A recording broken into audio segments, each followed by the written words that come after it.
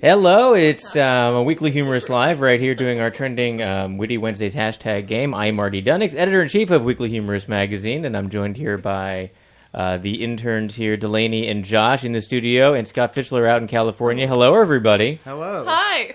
Hi. Hello. Hello. We're uh, we're having a fun tag today. It's hashtag Wimpy Action Movies, and uh, we're already trending number six, non promoted on the Twitter.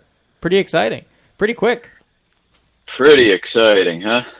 Very exciting. Good tag. It's okay. You don't even need them. I mean, I think you're fine. That's fair. Okay.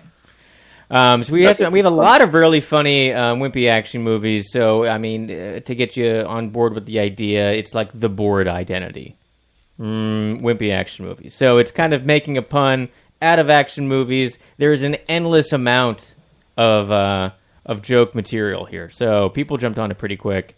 Um, yeah. you know, Yeah. we have Dine Hard. Uh, we've got so many. We uh, Soar instead of Thor. Um, what do you guys? What are your funny ones? You got a whole bunch of over there. We, we both separately found this one. Uh, Conan the Librarian. Ah, that's great. Very wimpy. Very Uh, wimpy. I liked this one a lot. Kindergartners of the Galaxy. that's great. Uh, Lotions 11. That, that's Lotions. Eleven. That's one of my favorite. Motions 11, yeah.